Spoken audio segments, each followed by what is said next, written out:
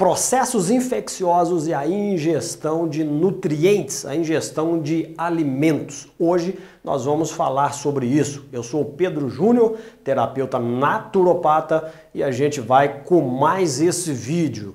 Olha só, todas as vezes que você tem um processo inflamatório, um processo infeccioso no seu corpo, o seu corpo ele requer uma quantidade maior de alimentos, ou seja, na verdade a finalidade do alimento é fornecer nutrientes para o seu corpo, tá? E quando você fica doente, principalmente com esses dois processos que eu acabei de descrever para você, o seu corpo ele requer uma quantidade muito maior de nutrientes, seja os macronutrientes ou os micronutrientes.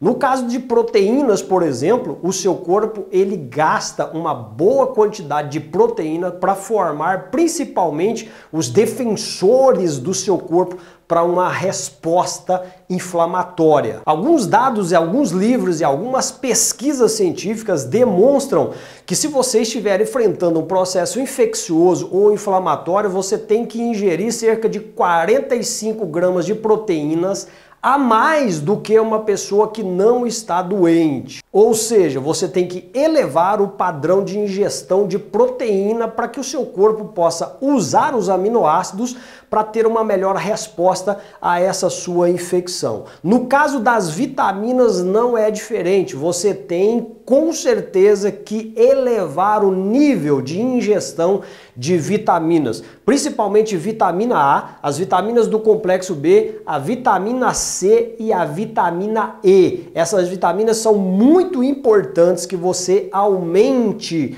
a dosagem, a ingestão de alimentos que contenham essas vitaminas para que o seu corpo possa usar tudo isso para você se livrar dessa doença, dessa infecção o quanto mais rápido possível. Lembra que eu estou falando aqui das respostas metabólicas do seu corpo, principalmente no que diz respeito ao seu sistema imunológico e também a reconstrução das células que são destruídas nesse processo inflamatório. Os minerais, eles não ficam para trás, tá? Você precisa principalmente de selênio, zinco, magnésio e também alguns outros minerais muito importantes. Na verdade, você deve ingerir uma quantidade maior de alimentos para você conseguir esses nutrientes, ou então você fazer suplementação, tá? A gente sabe, por exemplo, que a vitamina C e o zinco é poderosíssima para ajudar nos processos aí de reabilitação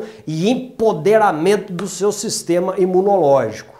Uma outra coisa muito interessante quando você está com processo de doença inflamatória ou quem sabe aí você está infectado, você precisa tomar muito líquido. O líquido ele é muito importante nesses processos e também o repouso. Não se esqueça disso, tá? É claro, tudo isso que eu estou falando aqui para você, você deve conversar aí com o profissional de saúde que está atendendo você ou que você tem confiança, tá? Agora, tudo isso que eu acabei de falar para você aqui está dentro de um patamar de nutrição, tá? Vários livros de nutrição eles falam a respeito de tudo isso que eu acabei de falar para você. Ou seja, a nutrição na verdade é um método natural, porque você consegue a sua nutrição através dos alimentos, você consegue os nutrientes através dos alimentos, ou quem sabe aí da suplementação, porque a suplementação nada mais é do que você colocar nutrientes de uma forma mais rápida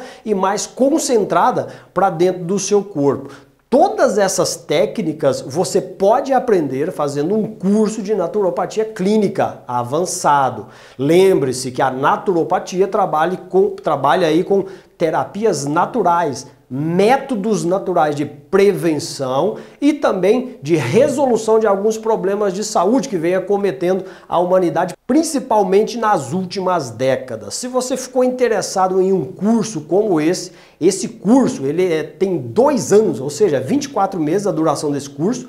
Você terá 1.800 horas aulas nesse curso. As aulas são todas ao vivo online, aí direto do seu computador, seu tablet, seu smartphone, e você pode participar ao vivo, é, tendo interação aí, interagindo com o seu professor e com seus colegas de classe virtual, tá? No final desse curso, você vai receber um certificado emitido por uma faculdade de nível superior e você pode atuar na área da saúde natural como terapeuta naturopata. É, a naturopatia é uma profissão que está lá no CBO, que é o Cadastro Brasileiro das Ocupações.